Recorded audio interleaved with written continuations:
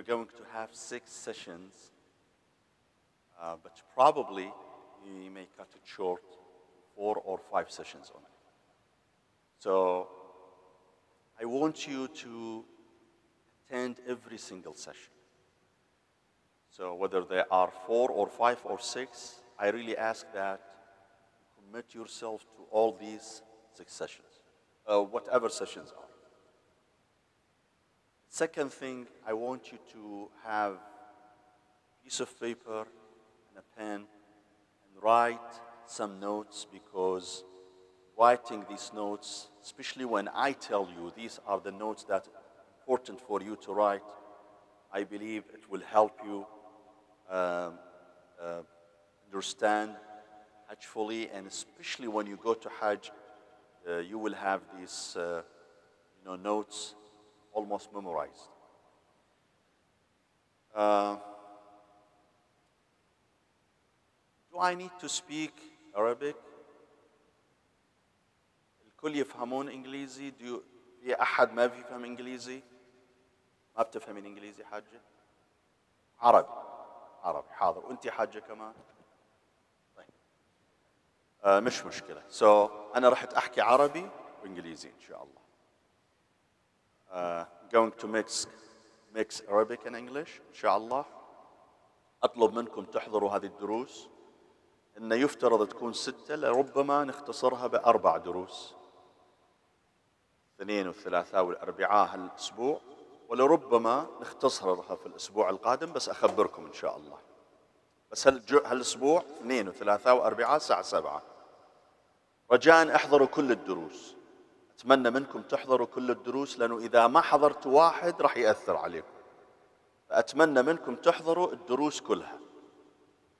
الشغلة الثانية جيبوا معكم ورقة وقلم في بعض الملاحظات ضروري تسجلوها. فأتمنى منكم الملاحظات الرئيسية خصوصا لما أقول لكم هذه الشغلة سجلوها. تسجل. السلام عليكم ورحمة الله. آه سيد حليم حبيبي يحتاج يمكن ثلاث أربع كراسي بعد. الله يطول بعمرك. uh, he's going to get some, some more chairs. No no راح يجيب راح يجيب.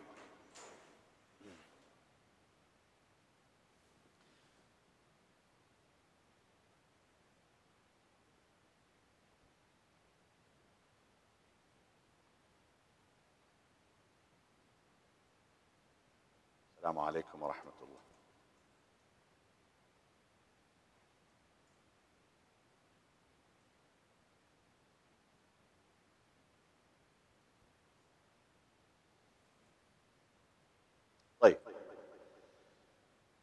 هناك امور يجب ان نقوم بها قبل الحج وهناك امور يجب ان نقوم فيها اثناء الحج there are certain things that we need to take care of before going to hajj and there are things that you need to take care of while you are in hajj so let's talk about these issues that we need to take care of before going to hajj like now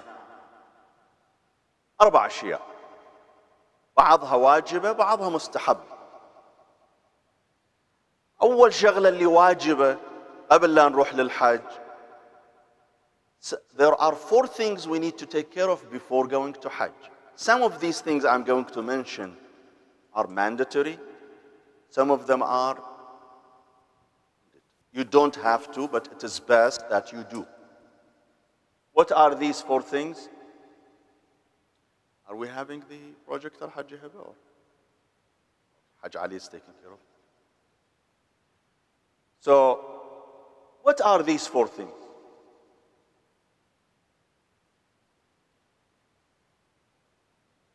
Hajj Ali, go. Go forward. Stop. Okay. It, it says number two, but I'm saying number one now. So if you look at the screen, it says number two, that's fine. But I'm calling it now number one. لاحظوا على الشاشة أول عمل يجب أن نهتم فيه هو التقليد. First thing we do before going to Hajj, تقليد. If you follow a مرجع, you're fine. If you are already follow a مرجع, you're fine. But if you have not followed a marja, you have to start following a marja. So, let's say I already follow Sayyid Ali Sistani, Sayyid Muhammad Hussein Fadlallah, Sayyid Ali Khamenei, Sayyid uh, Khou'i. Just continue. I have nothing to do. ما عندي مشكلة. Just continue following. But if I have not selected a marja in my life yet, Assalamu alaikum wa rahmatullah. I do not follow one particular Sayyid Halim. Allah يخليك جيب بعد شوي كراسي الله يخليك. If I have not picked a marja, I have to do so. So, in order to pick a marja, you don't have to travel anywhere. All you need to do, you say, okay, who are those maraja? There are five, six marja now, high scholars. I pick one and I decide to follow that marja and his fatwas. Now, how do I make sure I am following that marja? There are three ways. One, every marja has a book. Every marja has a book. I can go to his book. Or I go to his website. So I can go to his website. For example, Sayyid Sistani's website is sistani.com. Sayyid Fadlallah's website is bayinat.com. Sayyid Ali Khamenei, I'm not sure, but I guess it's khamenei.com. So each marja has his own website. I can go and check his fatwa on his website. The other way to follow a marja is by asking my local imam or sayyid or sheikh. So, for example, you come to me, you tell me I follow Sayyid Sistani. What does Sayyid Sistani say? I relate to you what Sayyid Sistani says or what Sayyid Fadlallah says. In these classes, what I'm going to teach is according to all ulama. Now, if there is any difference between one alim or another, I'm going to mention it to you. If I don't mention anything, that means what I'm telling you is agreeable by all maraj, by all the scholars. So don't worry about it. The other way to uh, follow a marj, we said either by going, going to reading his book, or going to his website, or relying on the local scholar. So every time I want to know what Sayyid Sistani says in this issue, then I go to my local scholar. Now, can you follow me? Can you follow me? Ahsan. You can follow me not as a marja, but as a local alim. Meaning, if you rely on me on telling you what the maraja say, that's fine. But you cannot do taqleed of me because I'm not entitled for taqleed. First thing we do, we pick a مرجع. قبل لا نروح للحج إذا ما مقلدين لازم نقلد مرجع. إذا ما أقلد المرجع ما عندي مشكلة. بس إذا ما أقلد مرجع لازم أبلش أقلد المرجع. انتبهوا المرجع اللي أقلده أبدأ بتقليده يجب أن يكون ماذا؟ حيا. إذا بدي أقلد السيد الخوئي الآن هلا فيني أقلد السيد الخوئي؟ لا لأن السيد الخوئي متوفى. لكن إذا أنا كنت اوريدي أقلد السيد الخوئي لما كان حي فيني أكفي. لكن إذا بلي بدي أبلش أقلد مرجع ما فيني أبلش أقلد مرجع ميت لازم يكون حي. For me to follow a مرجع if I was following a مرجع and the مرجع dies I can continue following him but if I had I was not following that مرجع I cannot follow him if he's dead so if I am beginner I have to begin by following a مرجع who is alive طيب طبعا في شرط آخر للمرجع مرجع يجب أن يكون al-a'lam fil fiqh. Al-a'lam. One condition that I have to verify in my marja, the marja I follow, is he has to be the most knowledgeable, not in politics, not in chemistry, rather in what? Islamic jurisprudence, Islamic laws. Now, how do I know who is Shu'arif? How do I know who is A'lam? They are all scholars. I'm not scholar. How do I know? Again, I can rely on a scholar, local scholar, who would tell me who is the most knowledgeable one. فيني أسأل أحد العلماء أقول مين هو الأعلم؟ إذا قال لي زيد هو الأعلم أقلد زيد إذا قال لي عمرو هو الأعلم أقلد طيب Any question so far بالنسبة للتقليد Please don't be shy. If you have any question, ask your question. Any question so far about taqleed? You don't say anything, it's in your heart. That, that's it. In your heart, you say from now on, I am following this merja. And you just continue. Exactly, this is the question. Can I change? You can change from A to B only if you think B is more knowledgeable than A Only. I repeat, you can change from A to B, from one marja to another, only if this, the marja you're changing you to, you're going to, is more knowledgeable. But if I, I, I am following A and I decided to follow B because he is more charismatic, or he's more beautiful, or وجه نوراني أكثر, or he comes from the same village I, is that a good criteria? No. no. The only criteria is if, A, if B is more knowledgeable than A, yes.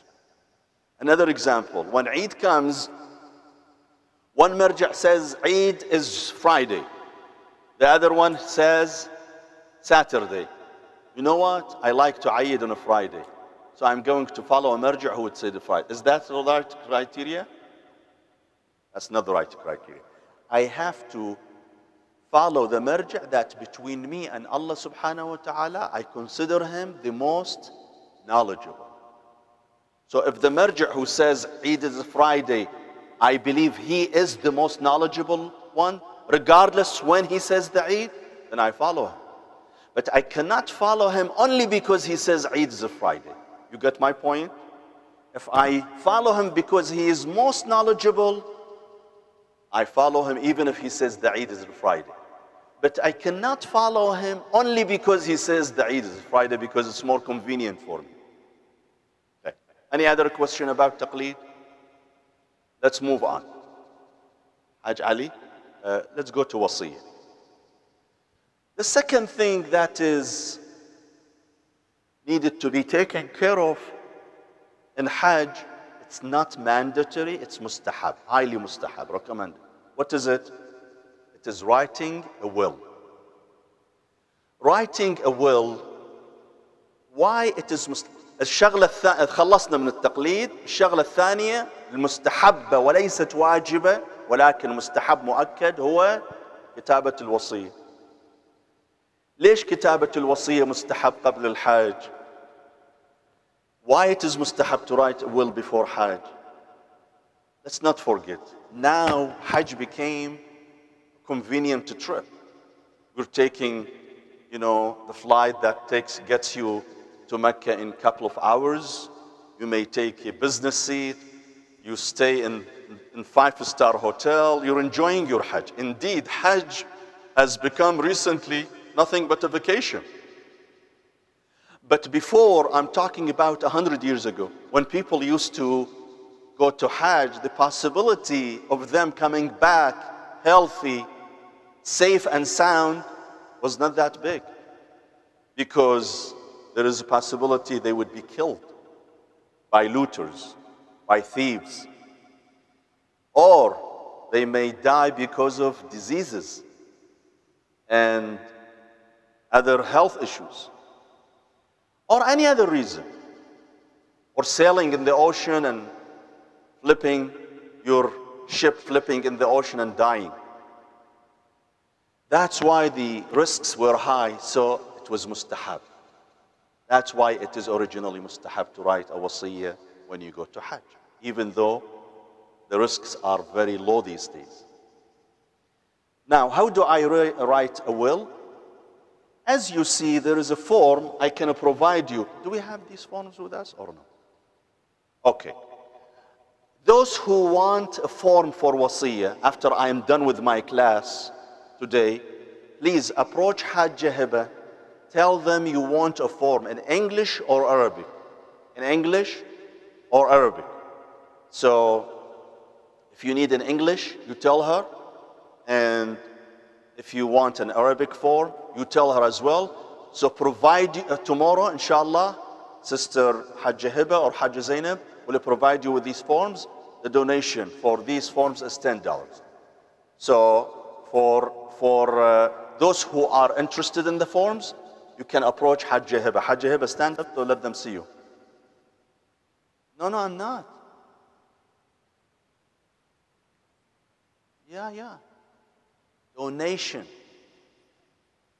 I said donation. Donation to the Islamic Institute of America. Uh, the form is simple. Al-Jahaba. Go back to the previous page. This is in Arabic though. So basically, it says, this is my name. You put your name here. Al-Jahaba, go to the second page. In the second page, you write how much you owe رد مظالم. What is رد مظالم? Briefly, شنو هو رد المظالم? رد مظالم means if I have done something wrong, I have taken Dr. Hazan's book and I forgot to return it to him. I took someone's book 20 years ago and I forgot to give it back to him. Or, or, or my neighbor brought me some food and I forgot to give her her tanjara back. Stayed with me. I pay something, $200, $300, there is nothing specific.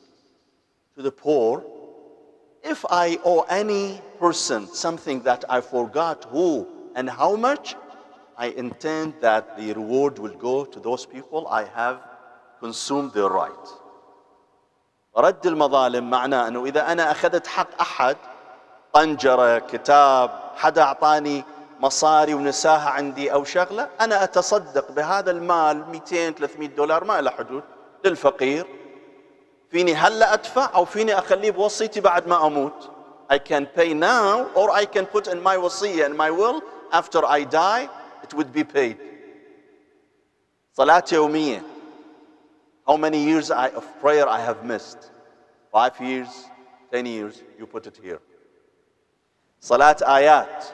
Salat ayat, every time there is khusuf or kusuf. Eclipse, solar or lunar eclipse. Usually there is once a year.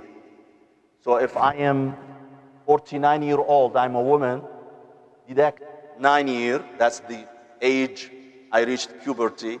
That's 40 years, so that means 40 prayers. That's how you go about it. إذا أنا عمري 49 سنة وأنا امرأة أحذف تسعة لأنه سن البلوغ تسعة أحط لكل سنة صلاة فإذا أنا عمري 49 سنة وما مصلي صلاة الآيات أخلي 40 صلاة. I put 40 prayers, averaging once every year. صيام. How many months of fasting you missed? You put here. كفارة إفطار متعمد. You know, if you fast, if you break your fast intentionally, it's different than when you break your fast because of sickness, traveling. If you break your fast because of sickness and traveling, all you do is you make it up. But when you intentionally break your fast, this is what you need to do. You need to make it up Plus, you have to feed 60 poor per day, minimum $60 per day. So that means 1800 per month. So if you miss, missed for 10 years, how much that would be? 18,000. You have to put it in your, in your, you put it in your, in your uh, وصية.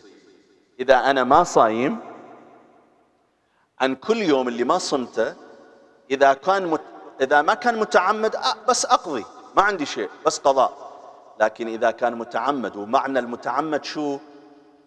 يعني أحسنت. لا كان لا كان مسافر ولا كان مريض. طنش.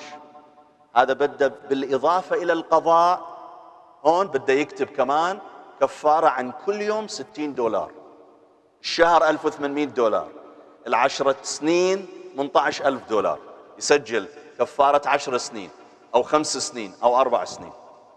كفارة وكفارة يمين. إذا إنسان حلف if you take oath with Allah's name say Wallah I'm not going to smoke. You break it. This is kafara how much? Feeding 10 people 10 poor $10 each that would be what? $100 each kafara إذا حلفت بالله مش وحياة القرآن أو وحياة راسك أو راس زوجي أو عمي لا. إذا حلف بالقرآن بالله بسم الله قال والله ما رحت أدخن هلا كمثال عم أقول ما أدخن. واحد قال والله أنا ما رحت أفوت على بيتك. وبعدين راح يجي على بيتك هذا بده يدفع كفارة الكفارة إما صيام ثلاثة أيام أو إطعام عشر مساكين. كل مسكين عشر دولارات إيش قد تصير؟ 100 دولار. كل كفارة 100 دولار. بعدين نجي لهون. الفورم اللي رحتوا تاخذوه راح يكون يحتوي على هالقسم. The form you will be getting tomorrow will have this section. ثم إنه إن له دين كالتالي.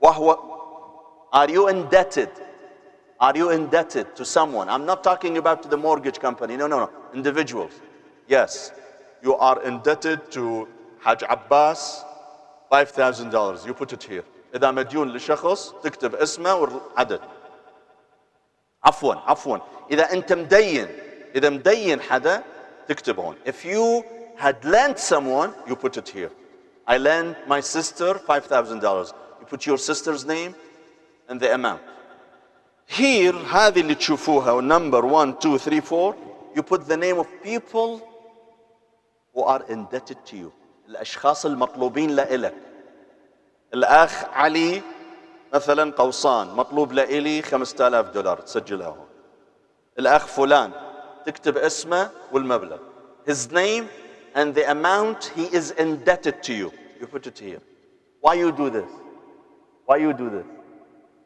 imagine if Haj Ali Qawsan is indebted to me $5,000 no one knows other than me and him if I don't put it in my wasiyah and I die, who would know about it? So I put it in my wasiyah, in my will. So if in case I die, someone would know who owes me and who I owe. بذمته مهر لزوجته. Most men, when they get married, they give their wives mahar, مقدم ومؤخر. المقدم Quran, most likely. المؤخر could be $10,000, could be $50,000, could be $100,000. You have to pay it. Now you have to put in your wasiyah. What if you die and your wife has not been paid? So we pay her from your assets. Hajj, go to the next page. حساب خمس إذا ما مش مخمس بدك تقول أنا مش مخمس أو مخمس تقول أنا خمست نص أموالي والنص الثاني مش مخمس If you have not paid your khums, you need to say, I have not paid my khums. Or you need to say, I paid half of my assets khums. Half of my du khums is paid, the other half has not been paid. Or I have paid such and such only, my, my khums. Or I have paid my entire khums. You need to say it. أقر واعترف أنه أعطى. You need to mention here anything, any property you have given to someone in your life, in your life. مثلا you inherited a piece of land from your mother and you gave it to your brother. You need to say it here. Why? Because if I die tomorrow, my son may go to my brother and he says to him, Give me that land, that belongs to my dad. No, you already said I gave it to my brother. So no one can take it from your brother. إذا أنا معطي شغلة قطعة أرض لحدا بدي أسجلها. عشان ما تصير مشكلة بعد وفاتي حدا يروح على خيي يقول له تعال رجع الأرض. أنا مسجل أنه أنا أعطيت قطعة الأرض لخيي. نعم حاج.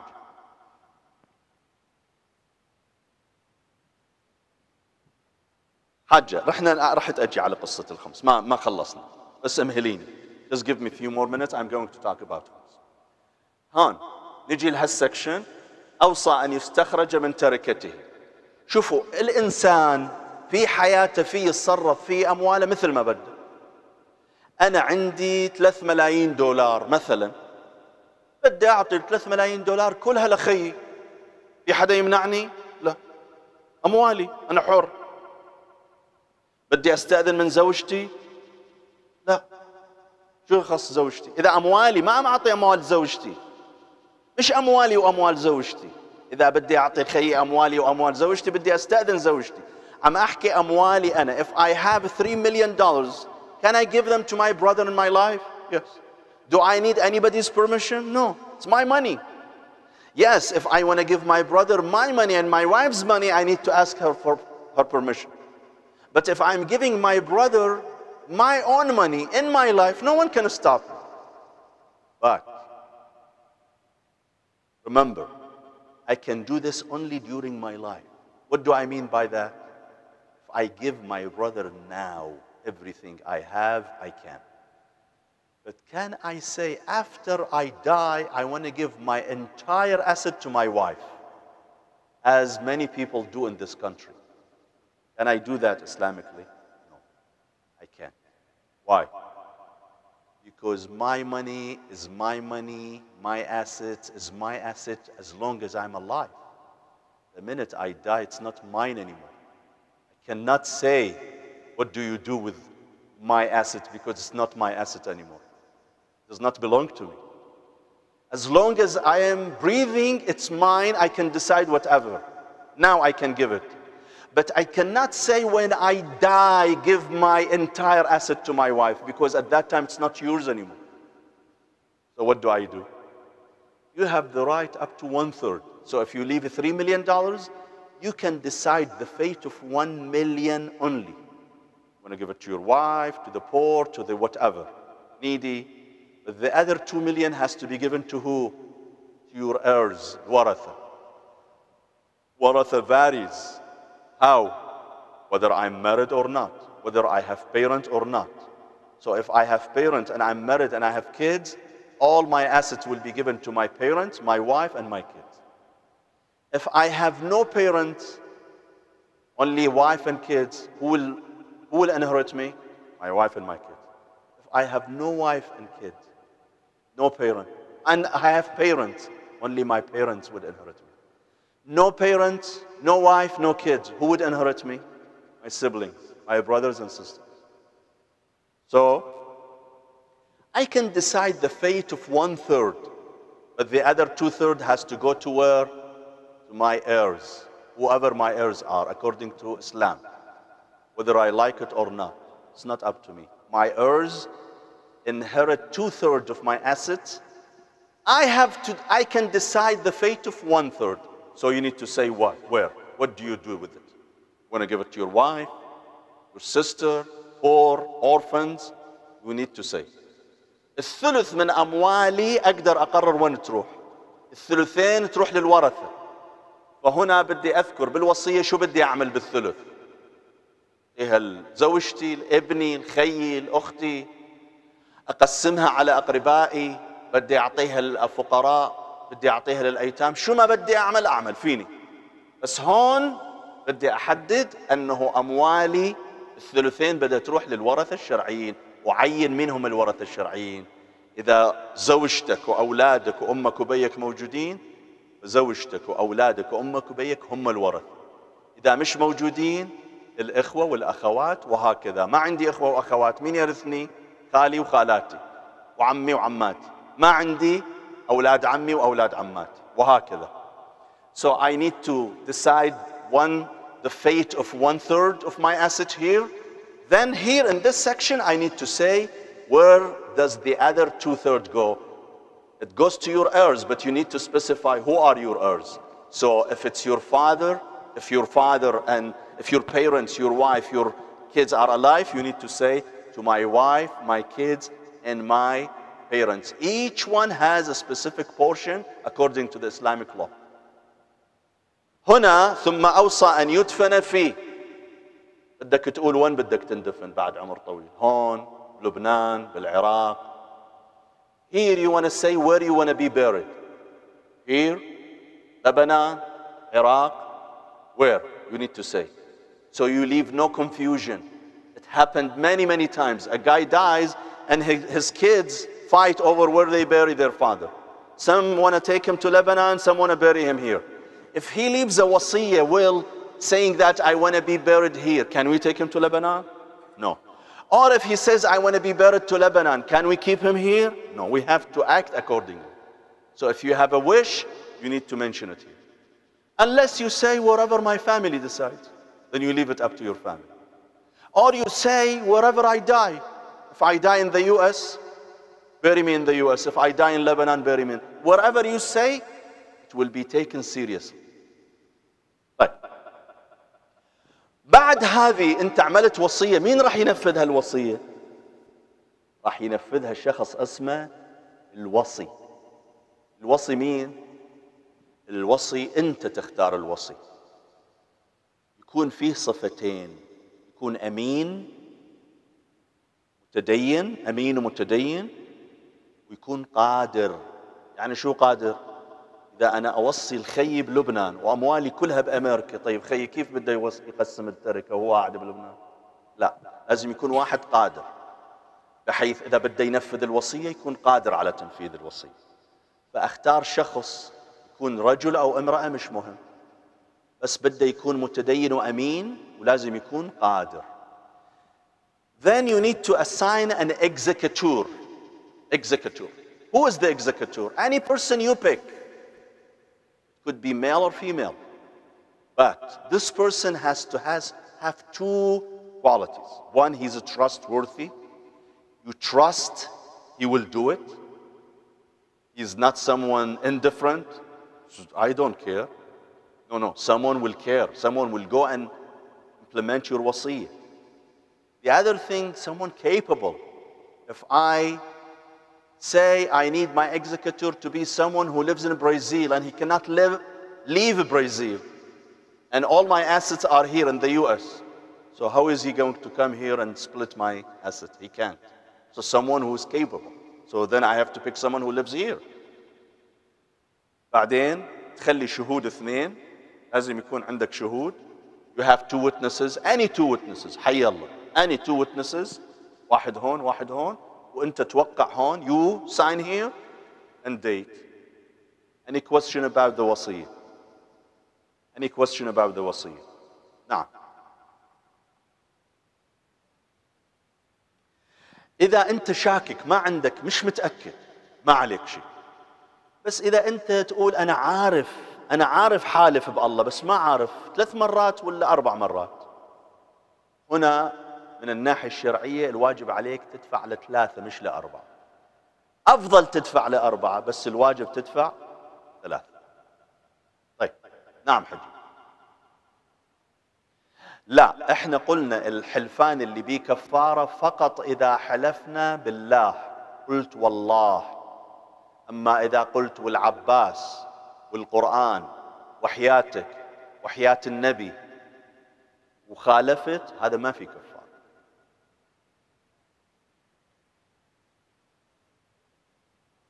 إذا الإنسان ما عنده أموال لا ما يكتب وصية بس بس خليه يقول وين يريد يندفع.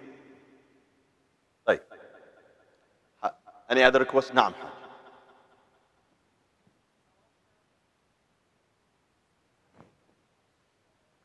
نعم. نعم.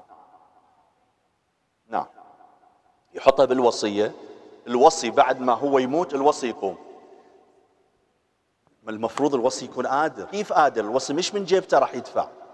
الوصي يجي يشوف هذا الشخص اللي مات عنده سيارة وعنده بيت. يبيع السيارة يبيع البيت ينفذ الوصي. إيه. هذا بعد عنده يس.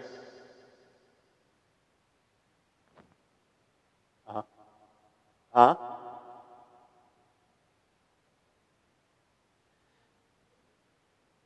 You mean you have a chronic disease that impedes you from making up. In this case, you pay $2 per day. $2 to the poor per day. So if you uh, have 10 days, that would be $20.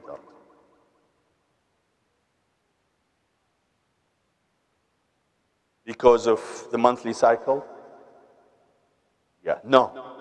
You just make it up. You just make it up. You just make it up. Yes. So if a lady misses, let's say, seven days in the month because of her monthly cycle, all she has to do is to make up. There is no, no kafara. No payment. Naam. If she can't make it at all, then she pays kafara for per day, $2 per day. So seven days would be $14. Right. Hajj, go to the next. طيب احنا ذكرنا إلى الآن so far we mentioned two things we need to take care of. تقليد which is very simple, right? Very simple. It's an intention in your heart. Number two, writing wasiyah. After we're done today, please approach Hajj Hiba. Tell her if you need a copy in Arabic or in English. Inshallah, tomorrow, either Hajj Hiba or Hajj Zainab will have it ready on this table for you. And I instructed you, I showed you how to fill out a wasiyah, right? Like. Number three, الشغلة الثالثة اللي لازم نعملها قبل أن نذهب إلى الحج. سؤالك حج. If I owe any khums and zakat before going to Hajj, I have to pay it before going to Hajj. Why? Khums and zakat is mandatory by itself, just like salah, just like fasting. how come it's okay for me to pray and I have to pray? Ramadan comes, I do fast, but when it comes to my khums, no, I have a second thought about it. What's the difference? Paying khums and zakat is as mandatory as praying and fasting. That's number one. Number two, we have hadith from the Prophet sallallahu alaihi wasallam. If someone owes khums and zakat, if I owe khums and zakat, I have not paid my khums and zakat, and I go to Hajj without paying my khums and zakat, without making a payment plan to pay my khums and zakat, my Hajj will not count. That's why before going to Hajj, I have to, if I owe, if I owe, I may not owe any khums. I'm going to say who owes khums, who does not. If I owe khums, I have to pay it before Hajj. إذا الإنسان ما دفع خمس الخمس هو واجب بحد ذاته هو واجب الشغلة الثانية إذا أنا ما أدفع الخمس قبل الذهاب إلى الحج حجتي باطل حاجتي باطلة تكون النبي صلى الله عليه وآله وسلم يقول من لم ي... من حج البيت ولم يؤدي زكاة ماله قيل له عند التلبية لا لبيك ولا سعديك حجك مردود عليك If the person who owes khums and zakah would go to Hajj while doing talbiyah, you know talbiyah, I'm going to talk to about talbiyah later on. Allah will tell him, I'm not going to accept your talbiyah. I'm not going to accept your Hajj. Go back home. Don't fool me. Pay your khums first. Don't pay your khums. You come to my house. Go and purify your income. Then come to my house. Khums, 20% of my surplus income. Meaning, do we have? Yes. Let's say I make 100,000 a year, my salary or my income. I spend 80,000 on my family, food, housing, clothing, whatever. 80,000. So I have a 20,000 surplus in this example. Saving 20,000. I have to pay 20% of the 20,000, which is what? 4,000. So if I have 100,000, I make 100,000 a year. I spend 80,000 a year, then my khums would be what? 4,000. If I make 100,000, I spend 50,000, and I save 50,000, my khums would be what? 10,000. Because 20% of the 50,000 is 10,000. If I make a hundred thousand and I save no dollar, I spend my entire money not on gambling in, in the casino, rather on my family, on my legitimate expenditure, then that means I have no khums to pay. Is that clear so far? Now, فإذا أنا أعمل بالسنة مئة ألف شو اللي أصرف على عائلتي ما عليه خمس اللي ما أصر يعني إذا صرفت ثمانين ألف على عائلتي يبقى لي عشرين العشرين عليها عشرين بالمئة يعني أربعة طيب هاي أول نقطة النقطة الثانية شوفوا مسألة الخمس بعض الناس يتصور أنه هو عم يخلي Allah I'm doing favor to Allah wa ta'ala I'm paying khums no I'm not doing favor to Allah Allah I'm doing me Allah is doing me a favor khums what is khums khums means God gave you five look at my fingers I have five fingers in my hand God gave you five and he asked for one to be returned back to him for you to keep four and for him to take one so indeed, khums is not my money. It is God's money in my wallet. I have to return it back. Sheikh went to the masjid one day, 100 years ago, in Iran. And he was preaching to people. And he said, There is a businessman from our hometown, traveled the other month, and he took his, his servant with him. In the past, when a businessman would travel, he would take his his, his uh, servant with him. Because he would ride the donkey or horse or whatever a few days in the desert he needs someone to help him. He says this the sheikh is telling people in the masjid he says this this businessman once he left the town he forgot he remembered that he did not leave any expenditure for his family. So he took 1000 dinar out of his pocket he went to his servant and he says here this is 1,000 dinar. Please go back home, give my family, take 200 for yourself, and give my family 800. I left them without expenditure. The servant was about to go. The guy called him and he says, Come back. Take 400 for yourself, give my family 600. Servant says, Thank you so much. Who is telling this story? The sheikh is telling this story to his congregation on a Friday prayer. He said, once the servant went to go again, he called him again and he says, You know what? You take 800 for yourself and you give my family 200 only. Servant says, That's too much for me. He says, No. I love you. You have been a good servant to me. Take 800 for yourself and give forward 200 to my family. Sheikh says, the servant went back. How much he forwarded to the family?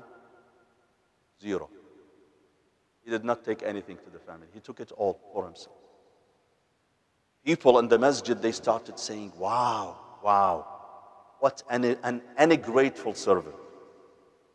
He gave you 800 for you. And he says, just give my family 200. And you are so greedy. The sheikh tells his people, he says, you know what?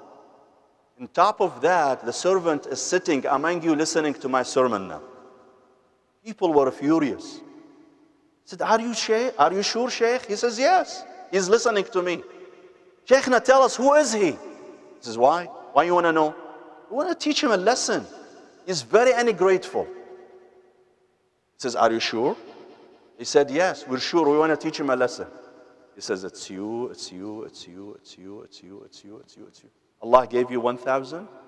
He told you, take 800 and give me back 200. You took it all. This is the story of khums.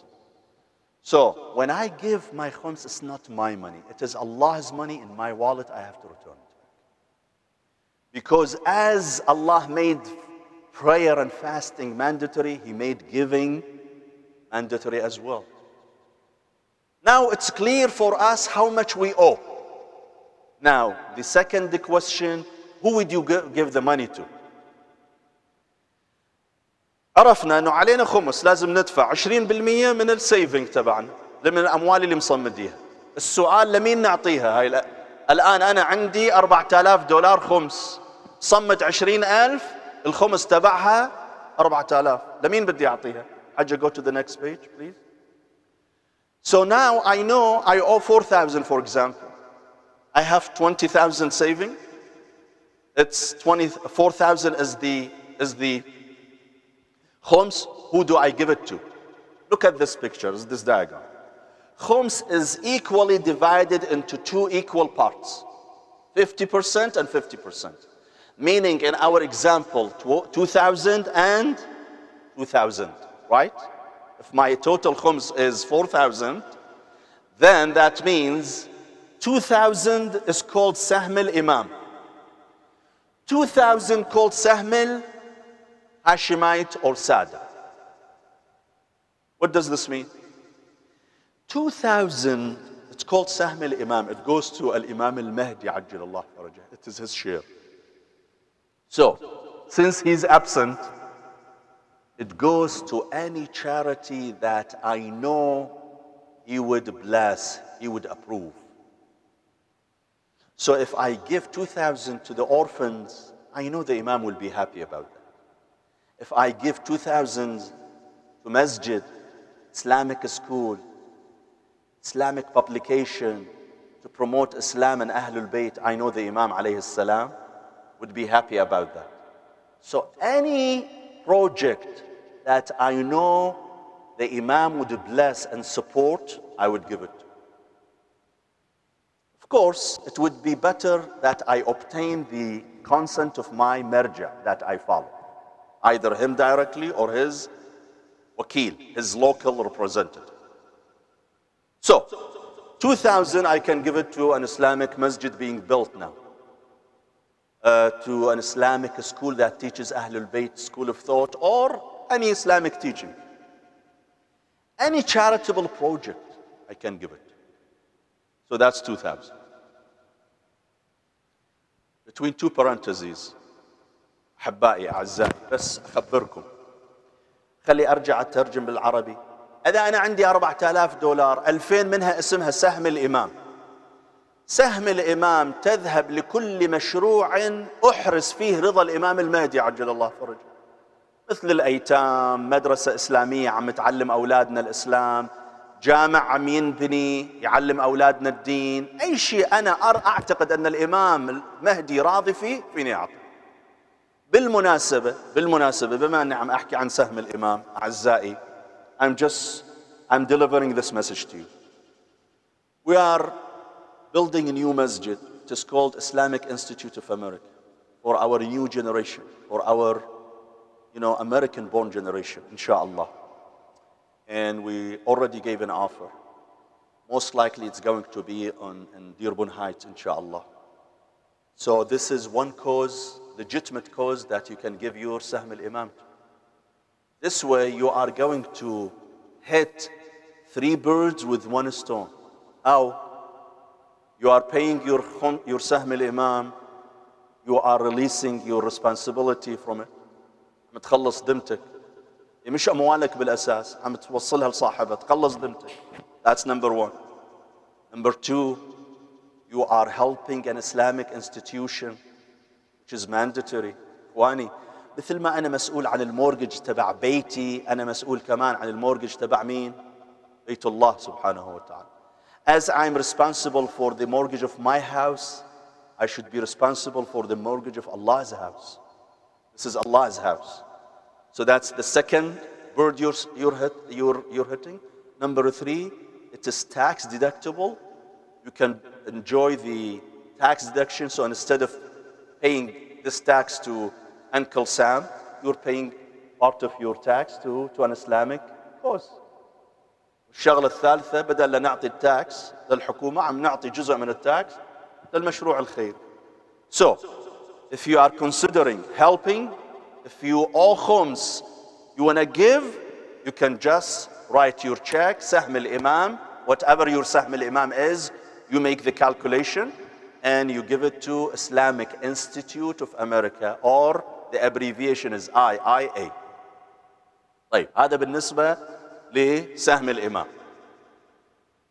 For the سهم السادة, سهم الهاشمite, what is that?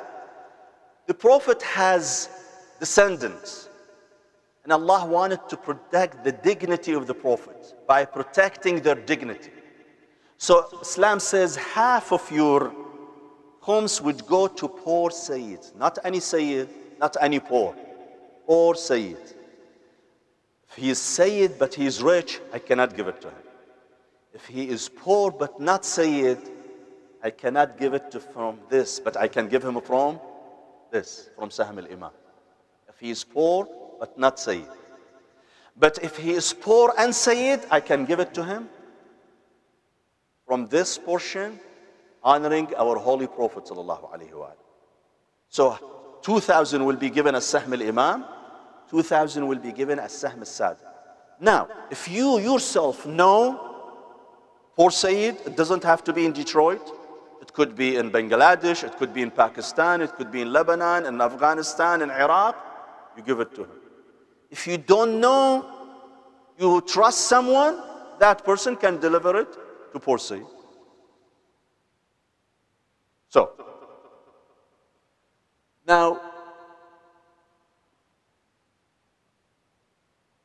this is answering the question where the khums goes.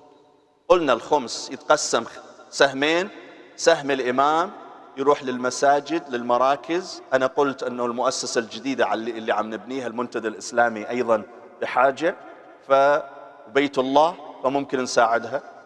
و2000 راح تكون سهم السادة؟ إذا أنت تعرف سياد فقراء مش كل سيد مش كل سيد يستحق. إذا كان فقير محتاج. إذا كان سيد فقير فيك تعطيه أنت. سواء هون أو بلبنان أو بأفغانستان أو أي بلد ثاني إذا أنت بنفسك ما بتعرف سيد فقير أعطيه لشخص ثقة تثق فيه يوصله للسادة الفقراء طيب هذه بالنسبة and by the way Islamic Institute of, of America can do both meaning if you pay your sahm al-imam it goes to the institution itself if you pay your sahm al-sada they will forward it to poor sayyid اللي يدفع خمسة لهذه المؤسسة نصفها يروح للمؤسسة نفسها لشراء المؤسسة النصف الثاني المؤسسة تقوم بإرسالها إلى السادة الفقراء طيب So far any question about where your khums goes? طيب Let's answer the third question How do I pay? إذا أنا بدي أدفع كيف أدفع؟ أدفع مرة واحدة ولا أقساط؟ الجواب أنا عندي خمسين ألف دولار كاش بالبنك. فخمسها قد تكون عشرة آلاف. بدي أدفعها كاش هلا. أدفعها مرة واحدة. فيني أقسطها؟ لا ما فيك تقسطها. ليش؟ مش أموالك اللي تقسطها. عشرة آلاف مش أموالك بدك تدفعها. لكن أحيانا أنا أحسب أنا عندي خمسين ألف بس مش بإيدي الآن. عندي خمسين ألف معطيها لكم واحد. هل خمسين ألف عليها عشرة آلاف دولار خمس؟ هلا مش بإيدي الآن مش بإيدي. صحيح أنا مديون عشرة آلاف دولار خمس بس العشرة مش بإيدي. بدها وقت لتجي. الحالة شو بدي أعمل؟ قسط أدفع ألف هلا والشهر الجاي ألف ألف لا خلص. بعبارة أخرى إذا الأموال الخمس موجودة تحت إيدي تحت تصرفي يجب أن أدفعها. حتى لو كانت عشر ملايين دولار لازم أدفع أما إذا ما كانت كلها تحت إيدي الله سبحانه وتعالى ميسر الدين يسر وسهولة الله سبحانه وتعالى يقول لك ادفع مثل ما تقدر Now, if I owe $10,000 خمس, I have $50,000, I owe 10,000. If I do have the 10,000, I have to pay 10,000. I cannot pay less. I cannot say, you know what, let me pay just 1,000 this year and inshallah the rest next year. On what basis? You want to delay? This is not, 10,000 of it is not yours. You have to pay it immediately. But if I owe, if I have 50,000, but it's not all in cash, some of, some of it cash, some of it's property, you know, property, I have to pay the khums on property. I'm going to mention things that you have to pay. So I don't have the 10,000 all cash in my hand. I have 2,000 cash, but then the other 8,000, it's in form of property or stock shares. Then in this case, you can pay 2,000 now, and the rest you can pay as installment. But if I have the money ready, I cannot I might, if I have my home's money available, I cannot delay it. Fourth question, السؤال الرابع. شو الأشياء اللي يطلع فيها الخمس؟ شو الأشياء اللي ما بيطلع فيها الخمس؟ الأشياء اللي يطلع فيها الخ... ما بيطلع فيها الخمس بيتي اللي أسكن فيه ما بيطلع فيه خمس. The house I live in I don't pay خمس on. It unless I had 50,000 when I say 50,000 an example only. I saved for at least one year. And then I put it toward the house. I have to pay the khums of the 50,000 why? Not because it's a house, because it was saved money, I did not pay the khums for it, then I have to pay the khums for it. But if I'm receiving my salary every month and I'm putting that toward my payment, my mortgage, then there is no khums in the house you live in. But if you have another house for investment, you have to pay khums on. I have another house that's worth $100,000 and I paid it all fully. So I have to pay how much? $20,000. If I cannot pay it all at once, then I can and pay it installment. In other words, I don't have to go and sell the house to pay 80,000 at uh, 20,000. I can pay 1,000 every month till the house is clear of khums. Or the other choice, I can sell the house, pay 20,000 and keep 80,000 if the house is for what? Investment. If the house I live in, I occupy, it has no khums. Any other house for investment, I rent out, I lease, whether it's a house or property, it could be garage, store, whatever, any property for investment, I have to pay khums on. What else you have to pay khums? If I own two houses, one here in Lebanon, do I have to pay khums on them? as long as you occupy them during the year, you don't have to pay khums. Meaning, I live in Detroit, but every year I go one month to Lebanon and I live in my apartment. I don't have to pay khums on that house in Lebanon. إذا أنا أسكن بالبيتين 11 شهر في ديترويت وشهر بلبنان بالشقة تبعي ما في ما أدفع خمس. نعم إذا مضت سنة وما قعدت بالشقة بلبنان شو بدي أعمل؟ بدها تتخمس. If one year passes and I do not occupy the house in Lebanon, that means it's extra. Then I have to pay khums on it. It's not exempted for khums. But as long as I occupy it every year on a yearly basis, even if I occupy it one week a year, two weeks a year, that's fine. It's exempted from khums. My personal belongings, my watch, my books, my clothing, everything I use for personal use, my car, exempted from خمس سيارتي ملابسي مجوهرات اللي المرأة تلبسها الصيغة. إذا المرأة تلبسها بالسنة ولو مرة واحدة ما في عليها خمس. بس إذا بقت بالسيف بالباكس تبع البنك لمدة سنة بدي شو أعمل؟ بدي أخمسها. If I use my jewelry, my personal jewelry, I use it once a year, I don't pay khums on it. But if I keep it in the safe, and one year passes by, I have to pay khums on it. What else?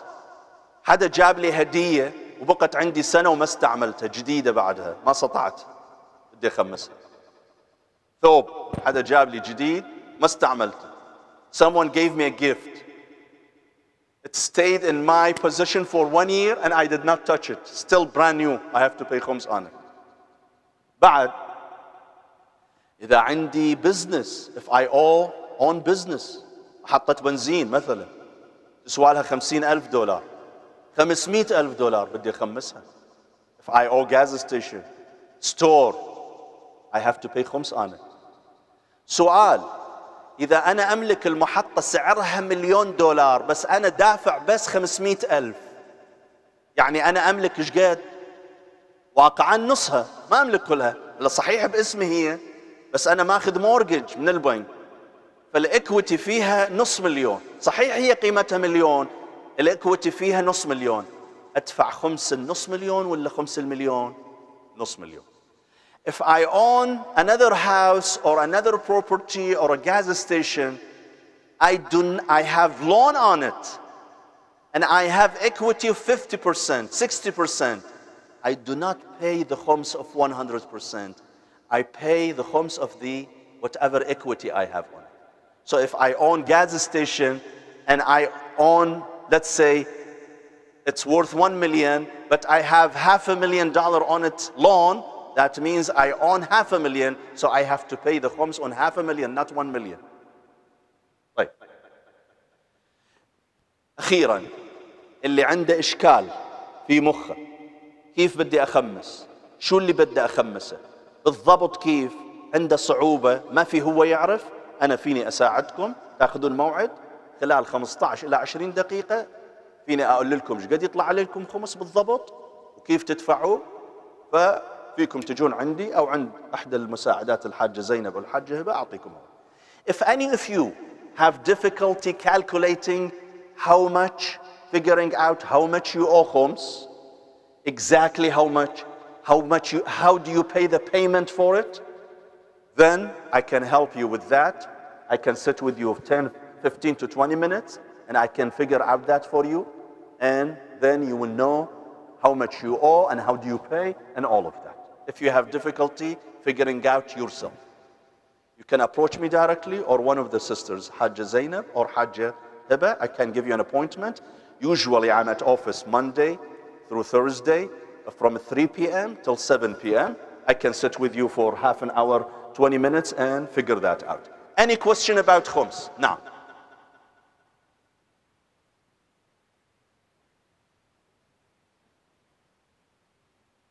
Yes. Yes. There is no khums on it. There is no khums. Yes. Yes. However, however, sister, let me, it's a good question. If I pay khums, I paid khums. I had 50,000, I paid 10,000, I had 40,000, and I invested this 40,000 somewhere. Do I have to pay khums again next year? Yes and no. Don't say no, please. Yes and no. How? If it stays 40,000, I don't have to pay khums. But if my investment became 60,000, I have to pay what? The additional 20,000.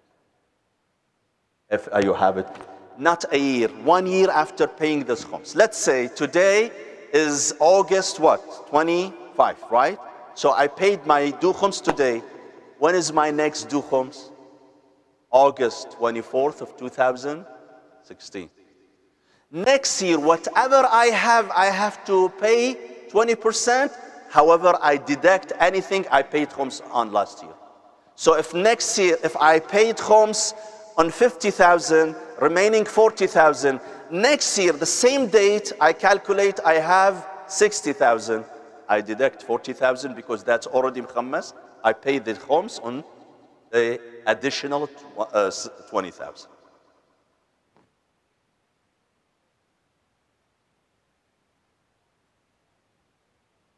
No, no, no, no. I didn't say you have to pay. No, no, no, no, no. No. Anything. No, no. Look, if you want to keep your jewelry exempted from khums, exempted. Let, let, let me clarify what I said.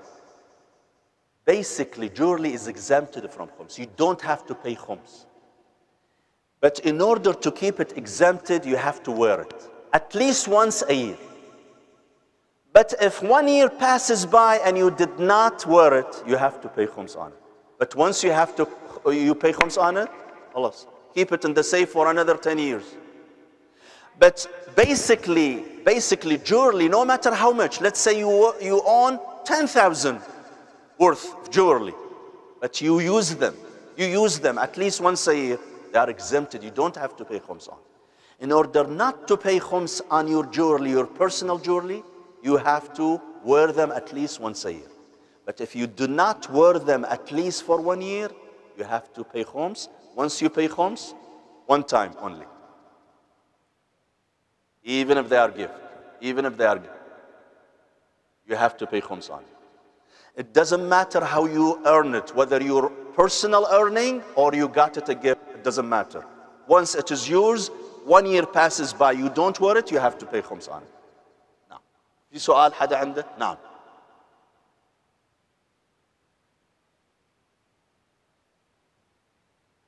He has to value the day the khums is mandatory. Let's say today is my due khums. I have to see the value. How much is it today? and pay the khums on, on today's value. No, no, on today's value. طيب, any other question? حدا عنده سؤال عن الخمس؟ طيب. نعم حاجة.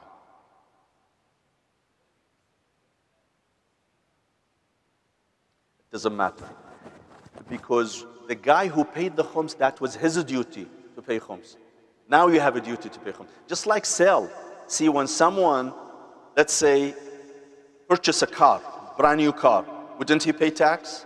Then he gave it to you. Would not you? Sold it to you. You pay tax on it. So if someone paid khums in his, in his whatever gave me, and it is my due date, it has not been used, then I have to pay khums on it. طيب. آه خلي let's move on. خلصنا من موضوع الخمس. خلاصة القول. قبل لا نروح للحج أنا لازم أتأكد أنه أنا خمسي إما كليا مدفوع أو I do settlement. شو يعني settlement شو يعني settlement مصالحة. يعني شو؟ يعني أنا أروح عند العالم أقول له أنا مديون عشرة آلاف دولار عندي خمس عشرة آلاف دولار. يقول لي ادفعها. موجودة عندك بالبنك؟ أقول له ادفعها. دفعت. أروح عند العالم أحسب حسابي يطلع عندي خمس في ذمتي مئة ألف. بس ما قادر أدفعها مئة ألف. أعمل سيتلمنت مع العالم. يقول لي ادفع هلا خمسة أو عشرة والبقية تدفعها شو؟ أقساط. هذه صارت سيتلمنت هلا فيك تروح للحج. بس قبل هذه الشغلة ما فيك تروح للحج. So make sure before going to Hajj either you pay your khums fully or you make a settlement. How? If I have 10,000 and if I owe $10,000 khums and it's available, I have to pay 10,000 before going to Hajj. But let's say my khums is 100,000 and I'm unable to pay 100,000. I can only pay 10,000. So I go to this local scholar, I explain my situation.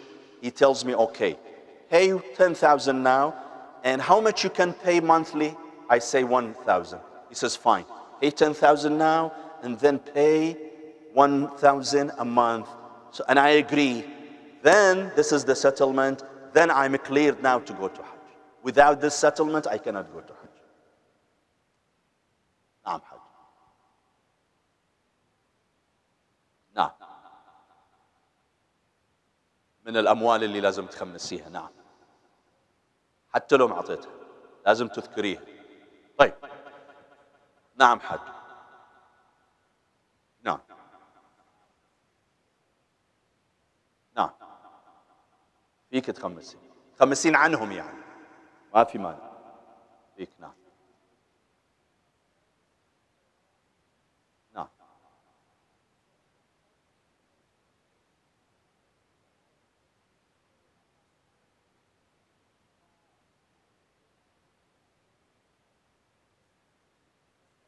لبنان. حجة اعملي مصالحة حاجة. تعالي عندي أنا أسهل عليك. طيب let's go to the second the fourth خلصنا موضوع الخمس we're done with it let's go to the fourth thing before we go to Hajj listen when we go to Hajj the most important thing we're trying to achieve in addition of fulfilling our duty as Hajj is what to seek God's forgiveness حتى الله يغفر لنا لما نروح للحاج بالإضافة إلى أنه بدنا نعمل وظيفتنا الشرعية بدنا الله سبحانه وتعالى يغفر لنا. لأنه عندنا حديث عن رسول الله صلى الله عليه وآله الإنسان إذا راح للحاج بعد ما أدى كل الشروط خمس طهر أمواله كل شيء عمل لما راح للحج الله سبحانه وتعالى يوم عرفة يوم عرفة عند المغرب عند الغروب يبعث بملك يقول له اذهب. واستأنف العمل فقد غفرت لك ما تقدم من ذنبك فأنت اليوم كمن ولدته أمك كل الذنوب تغفر كلها I go to Hajj and I do my Hajj properly meaning I pay my khums and zakat I do all requirements I fulfill all my requirements I go to Hajj in the day of Arafah when I stand in Arafah, land of Arafah by sunset, the Prophet says, Prophet Muhammad says, by sunset, Allah will send an angel to each, every and each one of you, telling you, those who are in Arafah, that go and start all over again. I have forgiven you for all your previous sins. So you are as if you are reborn. So I'm going to Hajj in hope that Allah will forgive me. If that's the intention, then I have to what? Forgive also. And ask for forgiveness. During my, you know, last 20, 30 years, I have hurt people, I have gossiped, I have lied, I have did some bad things to some people, I hurt some people. I go and ask for forgiveness. And remember, sometimes the words we say, things that we say could be worse than the physical injuries. The emotional injuries we cause could be worse than the physical injuries.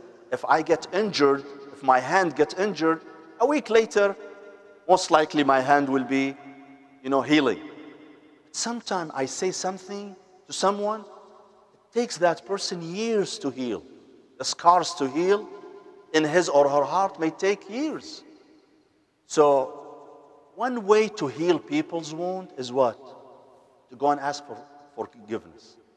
I gossiped against you, I come to, I have to have the courage to come to you and tell you, Samahni. I gossiped. The Prophet says, if I gossip and the person I gossiped against would not forgive me, Allah will not forgive me. In the day of judgment, Allah may forgive me for not fasting. Allah says, This is between me and you. It is my right on you to fast. You didn't fast, I can forgive you.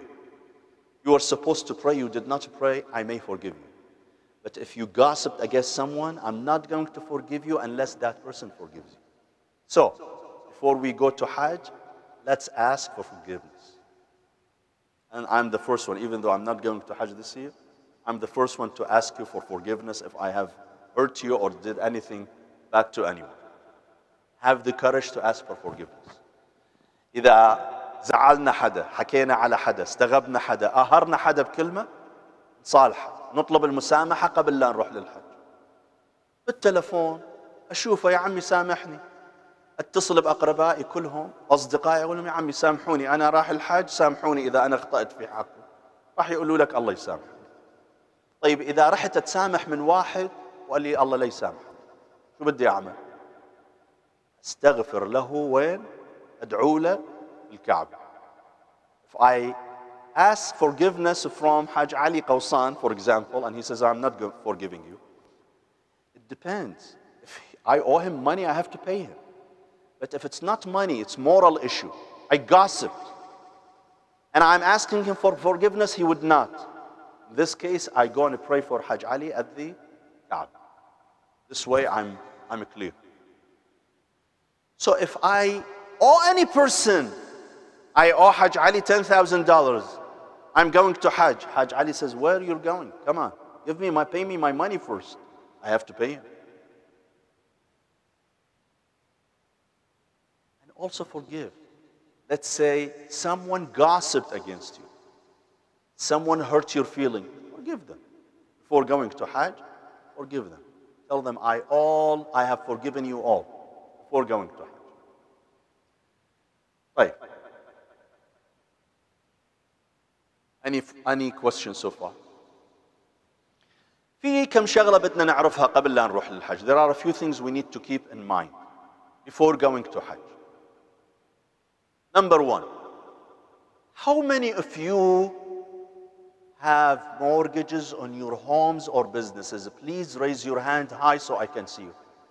كم واحد منكم عنده مورجج على البيت أو على البزنس؟ ارفع إيدك اللي رايحين للحج.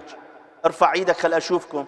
واحد اثنين ثلاثة أربعة خمسة ستة سبعة ثمانية طيب تسعة We have nine people who have mortgages on their homes or their businesses.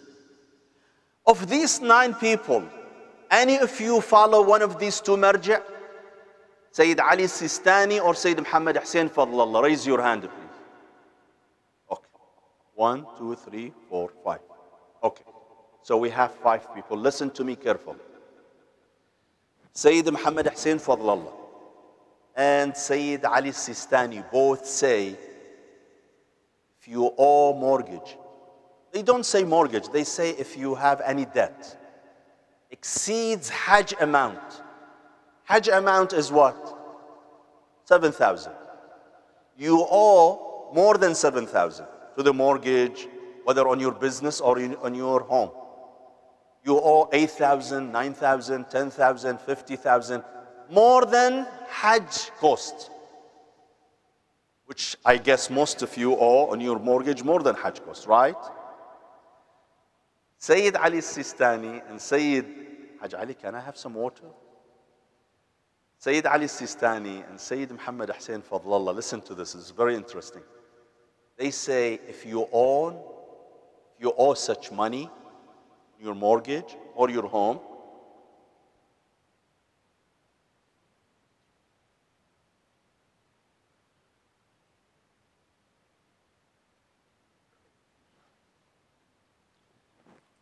Our class is one hour and a half. We started at 7 sharp. We'll stop at 8.30 sharp, inshallah. So if you're tired, you got 12 more minutes. Sayyid Ali Sistani with Sayyid Fadlallah, they say if you owe mortgage that exceeds your Hajj cost, you are not mustati'. So what does that mean? Meaning Islamically you are not capable of going to Hajj. What does that supposed to mean? It means if you go to Hajj, your Hajj is fine, but you have not fulfilled your religious obligation. What is my religious obligation? Allah says in the Quran, if you are mustati', if you're capable of going to Hajj, you can go to Hajj. You have to go to Hajj. According to Sayyid Sistani and Sayyid Fadlallah, if I owe loan on my mortgage, I'm not mustati', I'm not capable. That means I don't have to go to Hajj. But I want to go to Hajj. He says, You can go to Hajj, but then this is not your mandatory Hajj. It means after paying your mortgage, after paying off your mortgage, if you got another $7,000, you have to go to Hajj. Ahsan. If, listen, if you owe mortgage 50,000, but you do have 50,000 on, this, on the side, you don't want to pay your mortgage now. You're fine, you're off hook. Sistani is not talking about you. Nor Fadlal. You're fine, you're mustati'. But if you don't have 50,000 on the side, I want to go to Hajj, I have mortgage that exceeds my Hajj money, uh, my Hajj money, and yet I want to go to Hajj, and yet I don't want to go again. I want to go to the Hajj al-Wajib. So what do I do? Listen. This is illegal loophole here. What is the hila shar'iyya, as we say? It's okay. So what is the legal uh, loophole? They both say, Inta, you're not mustati'. So if you go to Hajj, fine, you can go to Hajj. But it's not mandatory for you. Inta مش واجب عليك. Because you're not mustati', you're not capable. Financially, you're not capable. So after paying your mortgage, if you happen to be mustati' and you have 7,000, then that you have, then you have to go. I khalas, I want to go now and finish with it. Whether after paying my mortgage or, uh, is there any way? Yes. How? I come to you, I am, I want to go to Hajj. I have mortgage, more than 7,000 mortgage. I come to you. You could be my husband, my wife, my brother, my sister, my friend, foreigner, whatever. I come to Dr. Hassan and I tell him, Dr. Hassan, would you offer me Hajj? He says, Yes, I want to offer you Hajj. I say to him, Please do. So he gets a check. He writes me a check of 7,000, providing that it's not fake check. He does have 7,000 in the account, and he give it to me. So I take it from Dr. Hassan. Now I become what? Mustati'. Because there are two ways to become mustati'. Either by earning or by providing. I'm not mustati' by earning because I have what? Mortgage. But now that Hajj Hassan gave me the money to go specifically to Hajj, I become what? Mustati'. So now that I, must, I became mustati', I go to Hajj. I tear up his check and I thank him and I give it to him back and I go with the same money I was planning to go.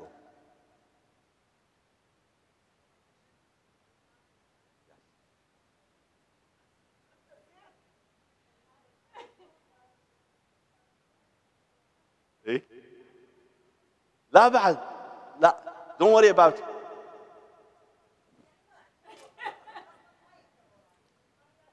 إيه. غلط لا المفترض يكون مخمس. أو إذا تردين تحسبين الخمس خلي يعطيك ثمانية حتى تحسبين الخمس. أو هو مخمس. هذا الحج يخمس بالمناسبة. So they write your check with the Hajj cost, 7,300. Now you become mustatiya. Take it, and then you say to him, thank you. You give it back. You can take it if you want. But if you don't want to take it, you just return it back to him.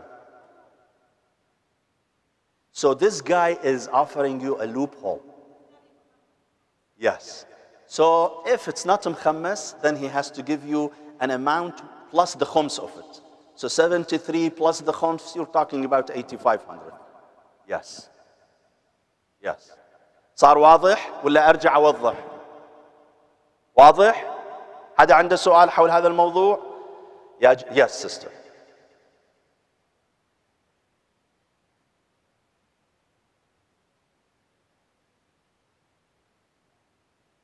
You don't have to go.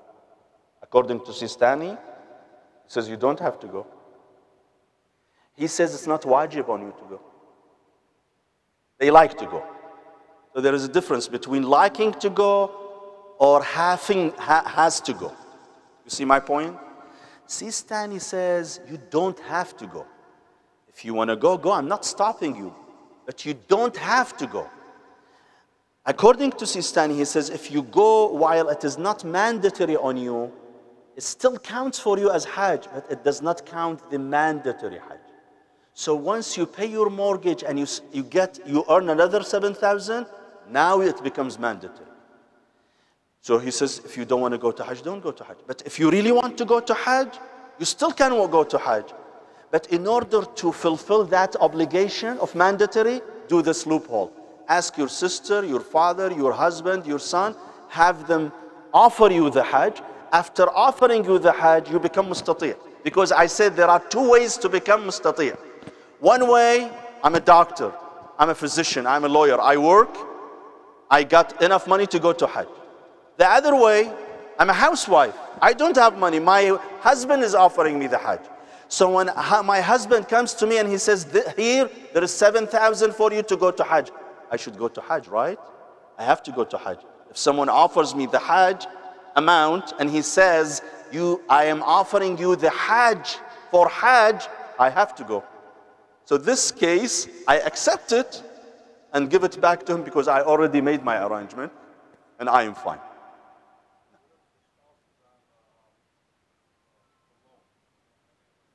She has mortgage.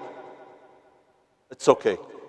As long as she has 7,000 in her name in the account, in the bank. You don't worry about her mortgage. All you need to worry when she writes you the check, she has 7,000, you know, in the bank. I know, but let's say it's joint account, but does she have his- her own money? Then don't take from your wife, go take from your brother. As long as, يعني, if we assume she doesn't have anything for her. So ask someone who has his own independent account. طيب خلصنا من هالقضية مو هالشكل؟ طيب الآن إذا أنا حابب أروح للحج إذا أنا واجب علي الحج إذا أنا صار واجب علي الحج متى يجب الحج الحج يجب حينما يتحقق شرطان. شرطين أو ثلاث شروط. الشرط الأول أن أكون بالغ. صار عمري إذا رجل 15 سنة وإذا بنت تسع سنين. قبل التسع سنين للبنت قبل ال 15 سنة للزلمة مش واجب. أول شيء شرط البلوغ. الشرط الثاني القدرة البدنية. إذا أنا مكرسح واجب علي الحج لا. إذا أنا عندي مرض يمنعني من الذهاب للحج مش واجب علي.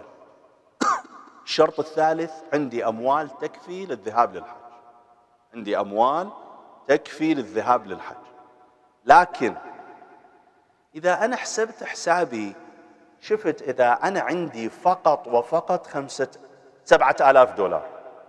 اللي هي تكفي للحج لكن مش مخمس وأنا مديون خمس مطلوب خمس. هذه ماضي عليها السنة إذا بدي أدفع خمس لسبعة آلاف دولار يطلع كم؟ يطلع 1400 دولار. فالسبعة إيش قد راح تصير؟ تصير خمسة وستمية. ما عاد فيني أروح للحج شو بدي أعمل؟ أروح للحج ولا ما أروح؟ بعبارة أخرى إما أروح بهالأموال اللي مش مخمسة وما أروح للحج من الناحية الشرعية شو بدي أعمل؟ من الناحية الشرعية يجب أن أدفع الخمس وإذا نقصت الأموال وما فيني أروح للحج مش واجب علي أروح. لأن الله شو قايل بالقرآن؟ قايل لمن استطاع إليه سبيلا اللي قادر. أنا اللي عندي خمسة وستمية مش قادر أروح الحج مش واجب. الحج مشروط بالقدرة لكن الخمس مش مشروط بالقدرة. الخمس الله قال لي كل ما صار عندك خمسة لازم تدفع واحد. If I have $7,000, only $7,000, I have to go to Hajj.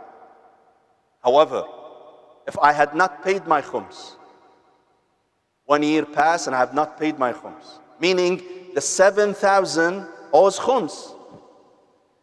If I pay my khums, I no longer can go to Hajj. Because after paying the khums of 7,000, I'm left with 5,600. If I don't pay my khums, I can go to Hajj. But if I pay my khums, I will not be able to go to Hajj. Islamically, what I'm supposed to do? It's like Islamically, you're supposed to pay your khums and not go to Hajj. Why?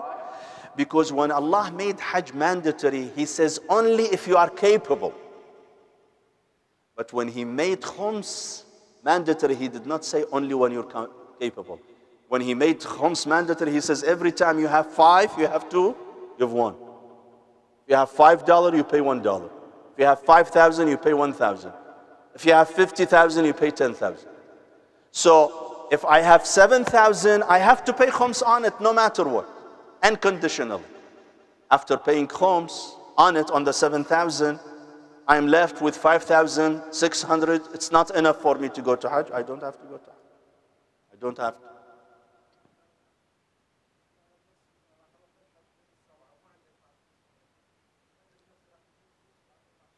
مصالحة تعمل مصالحة طيب آه أعزائي بسرعة البنت لازم يصير عمرها تسع, تسع سنين girls have to be nine before nine it's not mandatory so if I am a, a woman I am eight year old and I go to Hajj does that count? It does count it's not mandatory meaning after I become nine I have to go again Meaning Allah will give me the reward of Hajj, but this is not my mandatory Hajj. After I become nine, if I still have money, 7,000, I have to go to Hajj. No. Lunar. Lunar, not, not solar, which means eight years and nine months. Boys, 15 years. Sanity. If someone is not insane, إذا واحد مجنون مش عاقل واجب يروح على الحج؟ لا. You have to sane in order to go to Hajj free. Allah, alhamdulillah, there is no slaves. You're talking about 300 years ago. Capability. Capability means that you have enough time to prepare. You you're physically able. The path of travel is open, meaning you, you have access to Mecca. It's not stopped. There are flights going. Financial expenditures, whatever it takes, the travel expenses, the lodging, whatever you have, which is now almost $7,000. And also, if you have a family, if you are the head of household, I'm a head of household. I'm responsible for seven people, my wife and six children. I have to leave something for my family. So if I have only $7,000 mkhammas, enough for Hajj only. Now I go to Hajj and I leave my family no expenses. And I do that. I have to leave my family with some expenditure. Either immediately or it doesn't have to be immediately. I know when I leave in two weeks, my family will receive my checkbook, my check, uh, paycheck. That's fine. So I'm leaving them with something. But if I go to Hajj and my wife go to Sayyid Qazwini and says, Sayyid, my, wife, my husband went to Hajj and he left us nothing, so please give us some sadaqah money. My Hajj does not count. Allah says, you don't have to go to Hajj while your wife has to go and beg people. So I have to leave my family with some expenditure. لازم أترك لعائلتي ما يكفيها إذا أنا مسؤول عن عائلة نعم شلون؟ لا أنت ما عليك مسؤولية لأن أنت مو ربة يعني مو أنت لست المنفق زوجك إذا راح للحاج لازم أول شيء يأمن العائلة A question, an interesting question. If I'm a man, if I'm a man and I need to get married and I have $10,000, either I spend 10,000 on marriage, my marriage, or I go to Hajj. One of the two. I cannot do both. Either I get married with 10,000 or I go to Hajj with 10,000. What do I do in this case? Islamically, what I'm supposed to do? زواج. شوفوا النسوان يأكدون على الزواج الحمد لله. How many of you say Hajj? No, it depends. If I know by not getting married I may commit haram, then Hajj is not mandatory. I have to get married. But if I know I have self control, so I'm not going to commit haram, then I have to what? Go and do Hajj. طيب. آه إذا إنسان عنده أموال وبدنيا قادر في أخر الحاج لا يجوز أن أؤخر الحج إلا لعذر مشروع. شو هو العذر المشروع؟ مرض. هلا قلنا المريض مش واجب عليه إذا ما قادر. أو لا عندي ولد صغير. أنا أم. صحيح زوجي أعطاني مصاري وقال لي فيك تروحين الحج بس ابني وين بدي أخذ؟ إذا ما عندي حدا يهتم بابني أبدا مش واجب علي الحج. بس إذا أمي أو أختي قالت لي أنت روحي للحج وأنا أتكفل وأنا مطمئنة فيهم لازم أترك If I have money, enough money, مخمس money, and I'm physically capable, I cannot delay my Hajj. I cannot say, you know what, I'm planning to go in 2020 to Hajj. You have to go this year. It's mandatory to go this year. Unless, unless you have a legitimate excuse, such as, for example, I have child and I have no one to take care of my child. That's all. If I leave, there is no one that takes care of my child. This is a legitimate excuse. But if I have my sister or my mother who I trust 100%, they tell me, go to Hajj, we'll take care of your child. I have no excuse. I, I have to leave my child with. Another example, I have Mahattat Benzine, I have a gas station. It's my only income source or source of income. And I have no one at all to put in my place. I looked for workers, friends, to put someone in my place, and I could not. And the other option is I close the business for one month. And if I do, I will be, lose, I will be losing a couple of thousand dollars, 50,000, 60,000. Is this a legitimate excuse or no? Yes, it is a legitimate excuse. If I really don't find anyone, but if I can find someone to be in my place, then I have no legitimate excuse. Right. So,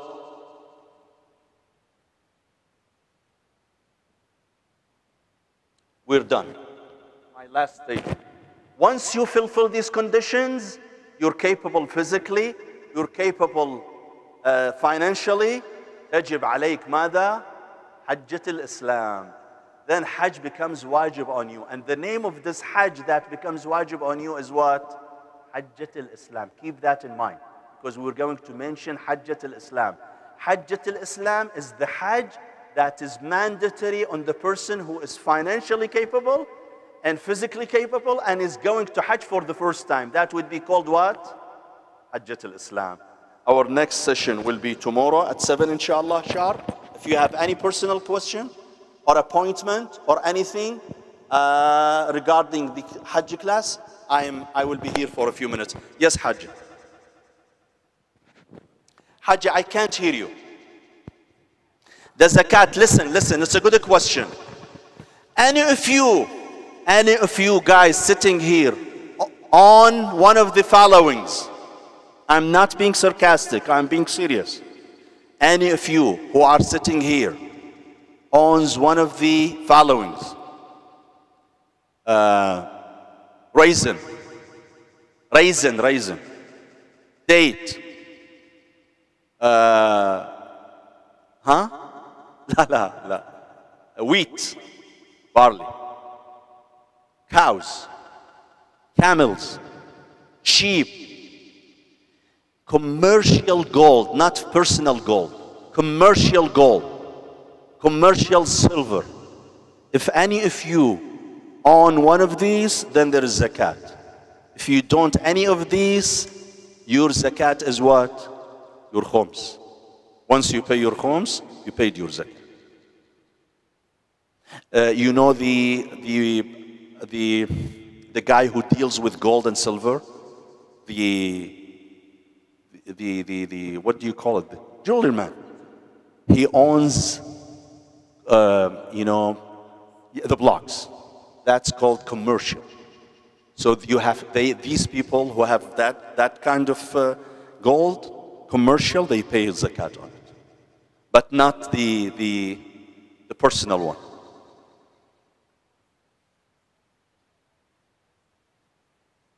It's okay because this is personal. You're not buying it to, for trading. It's exempt. Uh, I will see you inshallah tomorrow at 7. Naam Haj Ali.